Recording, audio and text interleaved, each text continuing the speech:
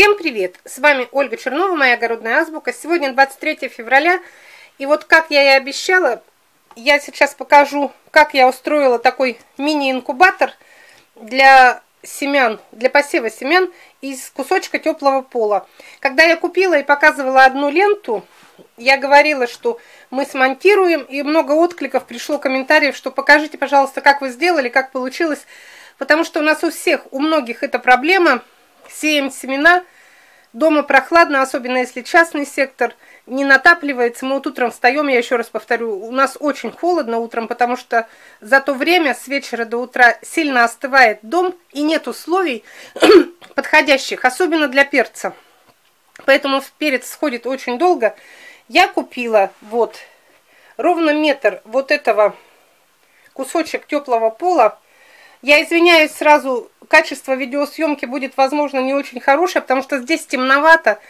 Это именно нежилое такое помещение, ну как чулан или кладовка, где я сейчас поставила все это устройство. Поэтому света здесь почти нет, но свет нам и не нужен. Как только они проклюнутся, я их унесу на стеллажи. Вот смотрите, по советам многих людей, которые используют, я также поставила старую вот эту вот гладильную доску. На гладильную доску положила кусок просто этого, как сказать, ну, от старой мебели, кусок деревяшки. На эту деревяшку положила вот этот вот кусок греющего пола. Его сейчас застелю старой вот такой, которой мы не пользуемся. Ну, немножко как она, как стяженая, что ли, просто не просто не покрывала, не покрывала, но просто тряпка, чтобы не было контакта вот этого пола греющего с лотками.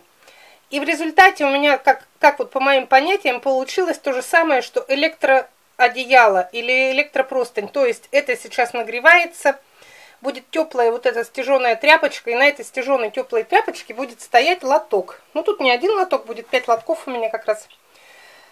Как мы их соединя... как мы его подключали? Оказалось действительно очень просто. Нам дали комплект. Вот 300 рублей я отдала за метр вот этого вот полотна.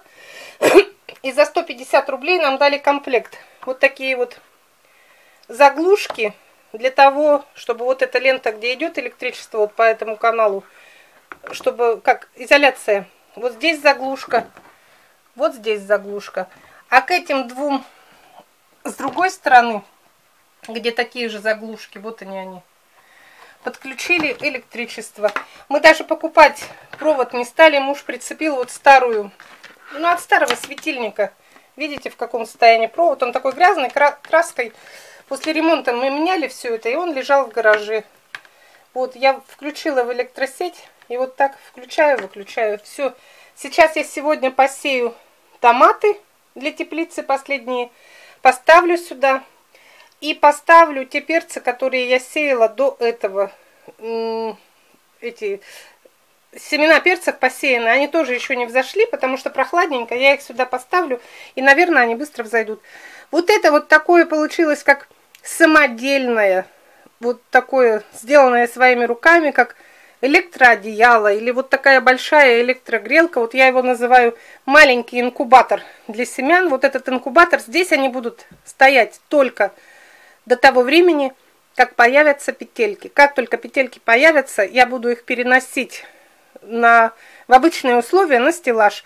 Дополнительного обогрева им потом уже не нужно будет. Все. Вот это видео сняла для тех, кто, возможно, у кого тоже в населенных пунктах нет таких магазинов, как специализированных, негде купить, например, какие-то электропростыни или просто там какие-то мини-теплички. Можно сделать вот из куска для теплого пола. Сама делаю это впервые, я даже не знала, как это делать. Залезли в интернет, посмотрели инструкции, все это подцепили, подсоединили, греет, теплое. Это вот именно то доброе тепло, как называемое, инфракрасные теплые полы, которые безвредные, как они говорят, что не сушат воздух. Ну, посмотрим. Все, до свидания. Мужчин всех с праздником.